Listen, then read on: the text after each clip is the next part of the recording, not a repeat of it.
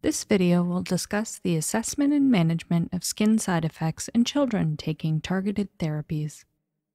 If you are a healthcare provider for a child on a targeted therapy, either a BRAF or MEK inhibitor, you may be aware that these medications can have side effects related to the skin. Side effects are very common. In fact, some studies show up to 100% of patients on targeted therapies have changes in the skin. In this module, we will review how to estimate body surface area and determine the grade of skin side effects, as well as how to identify and manage common skin side effects of BRAF and MEK inhibitors. First, we'll learn how to estimate the affected body surface area, or BSA. One method for estimating BSA is the rule of nines. Using the rule of nines, each leg represents 18% of total body surface area, or TBSA. Each arm represents 9%. The anterior and posterior trunk each represent 18%. The head represents 9%, leaving 1% for the genitalia and perineum. It's important to note that only the affected skin should be included in the BSA calculation, not the whole area. For example, if a small area of the leg is affected, this does not mean that the BSA is 18%. To accurately calculate BSA, you need to imagine the areas of rash grouped together before applying the rule of nines. Now, for smaller scattered lesions, the palm method may be more useful. Using the palm method, the entire palmar surface of the child's hand, including fingers, is approximately 1% of TBSA. Knowing how to estimate the BSA will help us determine the grade of the reaction. Grading is based on common terminology criteria for adverse events, or CTCAE. Generally, for skin rashes, grade 1 is mild, covering less than 10% of body surface area. Grade 2 is moderate, covering 10 to 30%. Grade 3 is severe, covering over 30% of body surface area. Grade 4 is life threatening, generalized with mucosal involvement, and grade 5 is reserved for death. For the specific grading of a given side effect, please refer to the CTCAE. Body surface area may not apply to all skin toxicities. Criteria may require you to ask about the patient's activities of daily living, the presence of tenderness, or other associated symptoms. You can download the CTCAE app to your mobile device to help you with this. This grading system provides a stepwise approach to managing the patient. While specific toxicities may be managed differently, generally, for grade 1, we observe and treat topically.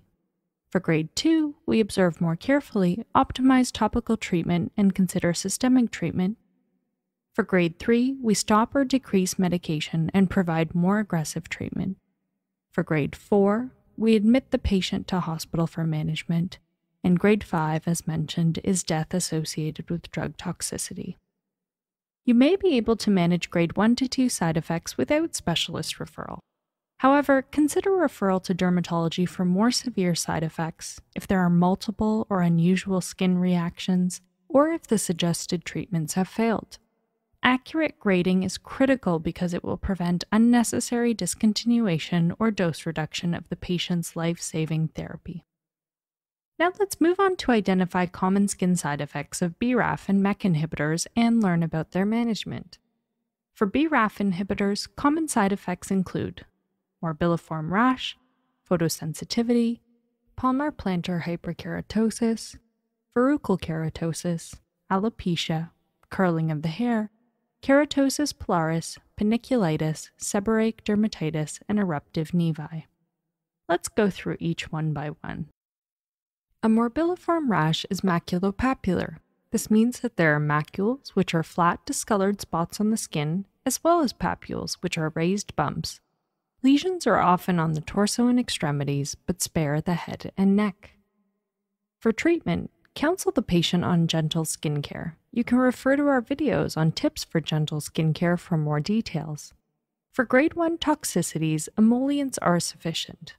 For grades 2 and 3, the patient can use oral antihistamines. Mid to high potency topical steroids like betamethasone valerate 0.05 or 0.1% or mometasone can also be considered. Ointments are preferred over creams since they are generally more effective.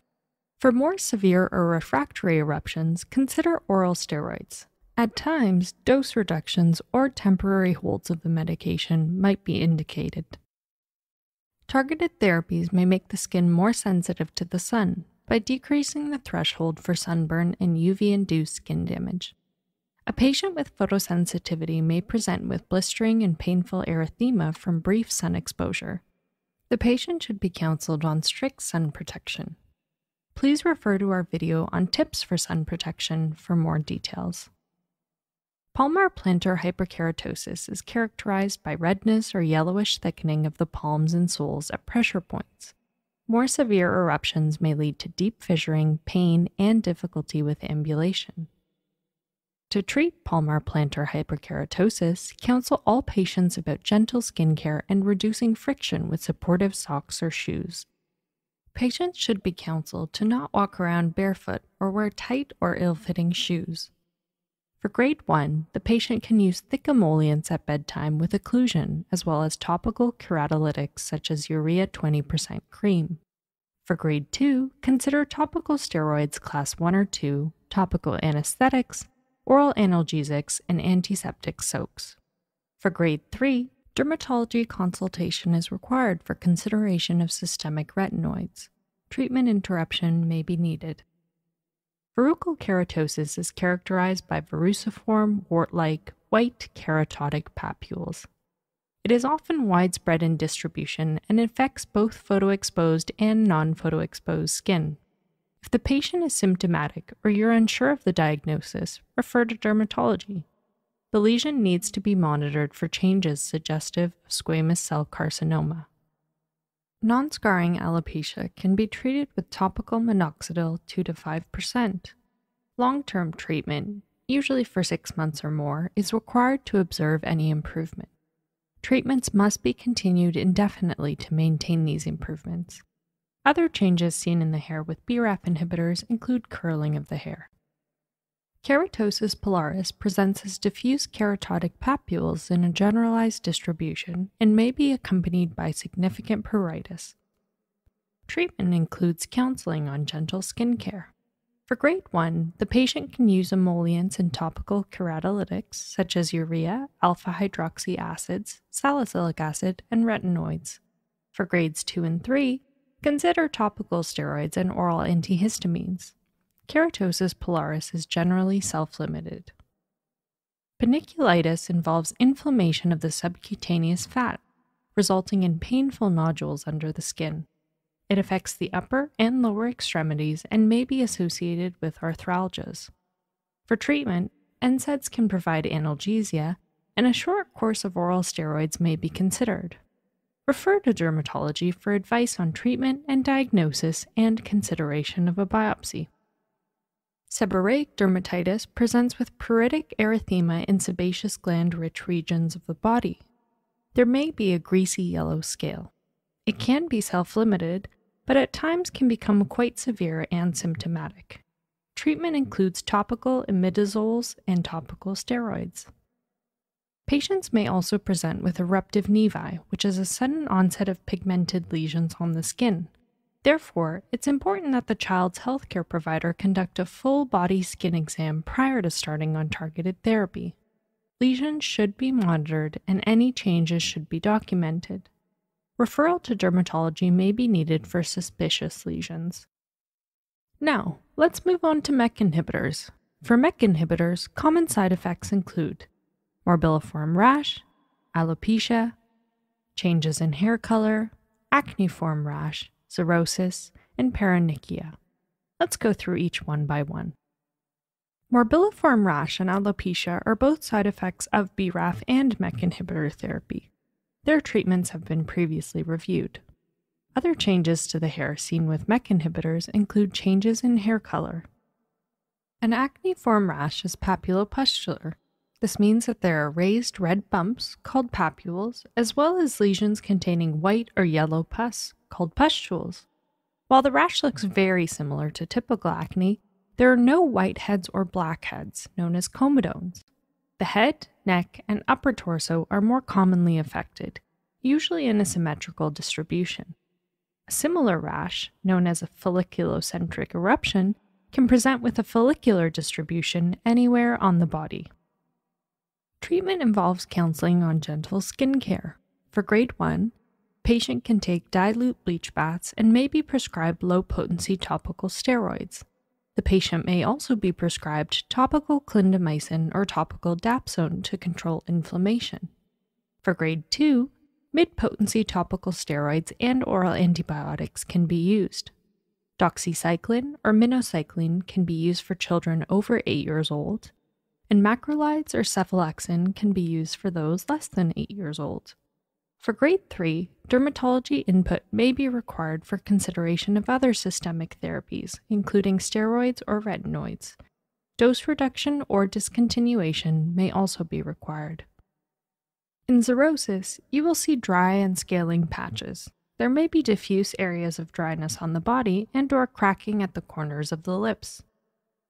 In terms of treatment, counsel on gentle skin care.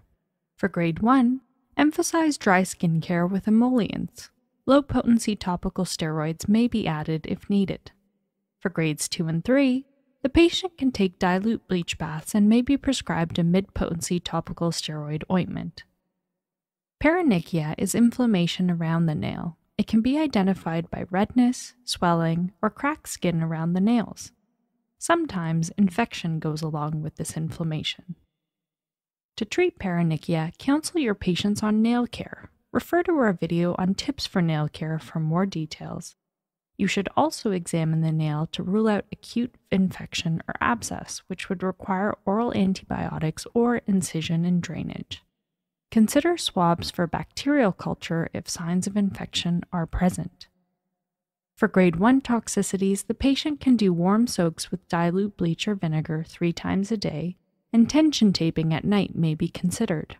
For grades 2 and 3, add a mid to high potency topical steroid ointment and or topical mupirocin.